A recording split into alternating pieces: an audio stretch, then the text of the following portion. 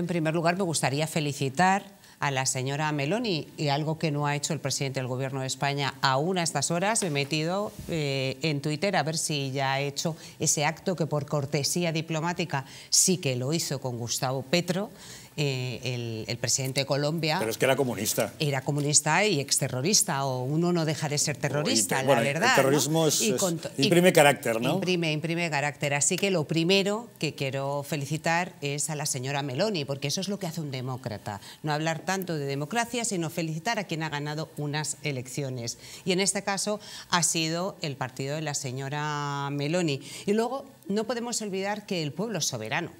En Italia son los italianos. Los italianos han elegido quien han considerado ellos oportunos y hay que respetarlo. Igual que en España, ah, no, no, votaremos... A María, Jesús Montero no le parece nada bien que los bueno, italianos pero por eso en España lo que a ella no le parece bien. Votaremos los eso no es democrático. Los españoles. Lo que no es democrático, que ese es el gran problema, yo creo mm, que lo que hay que diferenciar es lo que ha pasado en Italia, no tiene nada que ver con lo que va a pasar en España, estoy segurísima. España tiene un centro derecha representado por la figura de eh, Alberto Núñez Feijóo en este momento, es el presidente del Partido Popular y la alternativa real que hay que aglutina todo el centro derecha. ¿Qué le pasa a la izquierda? Que la izquierda lo que hace es no asumir los resultados cuando no le favorecen. Cuando les favorecen es lo bueno y cuando no les favorecen es malo, como en este caso. Y yo me pregunto, ¿es eh, menos democrática Meloni que los defensores de los terroristas de ETA con los que pacta el gobierno de España? ¿O con ese comunismo que está condenado por Europa, ellos que utilizan tanto eh, el sentido europeo y que yo soy una europeísta también convencida?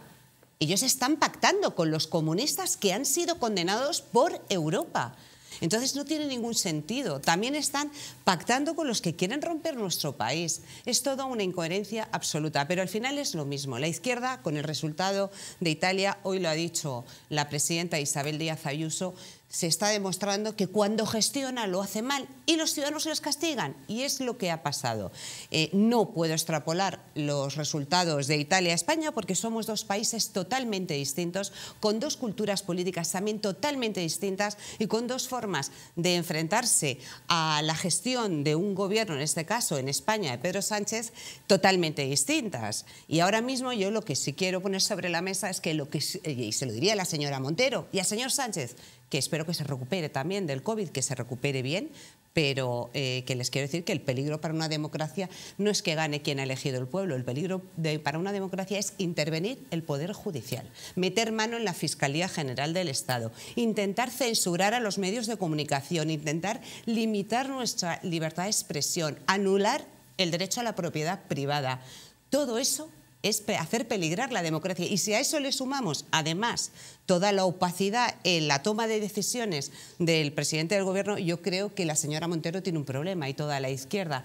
Y es que son ellos los que no creen en la democracia y ellos no nos pueden dar clase a los demás de lo que es democracia o no.